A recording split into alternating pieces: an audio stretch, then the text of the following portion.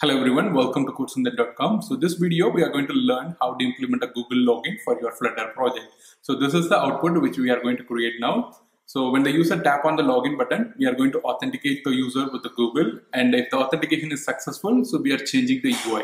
So in the next UI, we are going to display the username and the profile picture is coming from Google and we are going we are also going to enable a logout button. So this is the output which we are going to create right now. Uh, let's see into the session. Google login. First, we have to create a new project. So let's create it. Once the project is created, we have to change the working directory and open the project with my code editor. Now the project has been opened, so I'm going to modify a few codes here.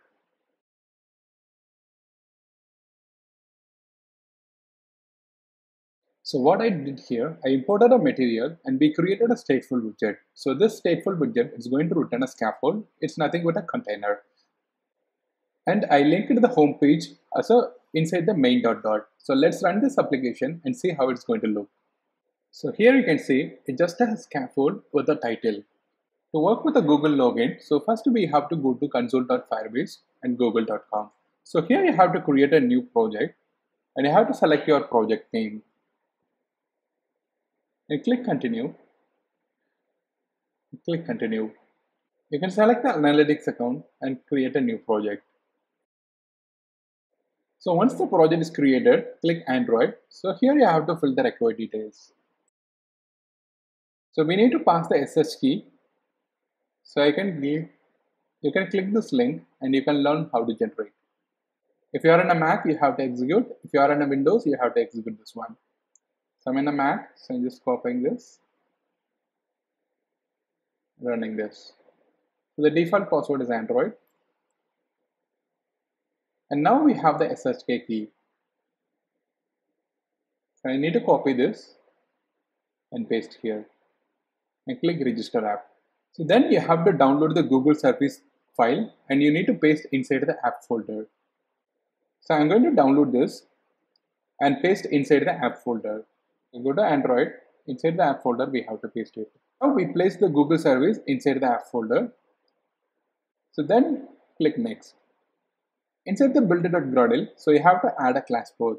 So it should be inside the project level. Android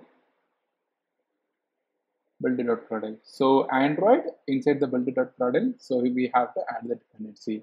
So then we have to add these lines inside the app level. App folder build.gradle so apply plugin so here we have to add. And then inside the dependency we need to add this and click next. And click go to console.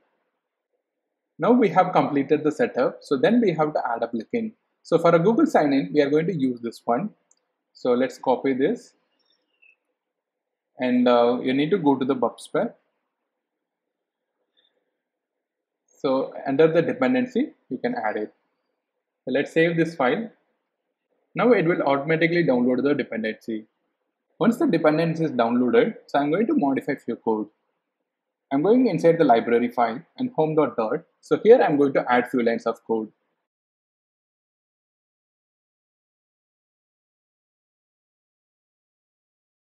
What we did here, so I imported a Google sign-in and I have created a two variable.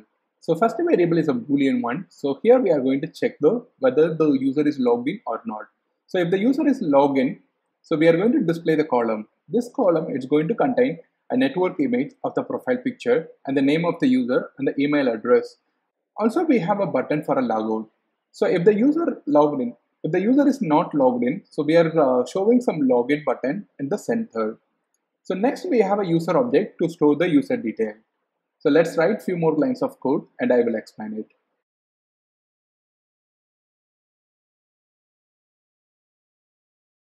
So what we did here, I changed the user object into the Google sign-in account because it's going to be a Google sign-in account object.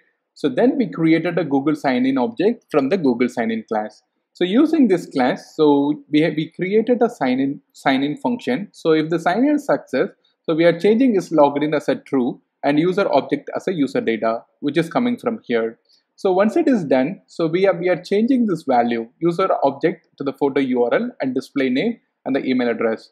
So let's write the code for sign out. So using the sign in, using this Google sign in object, so we call the sign out. So if the logout is successful, we are setting that the, we are setting the login status of false.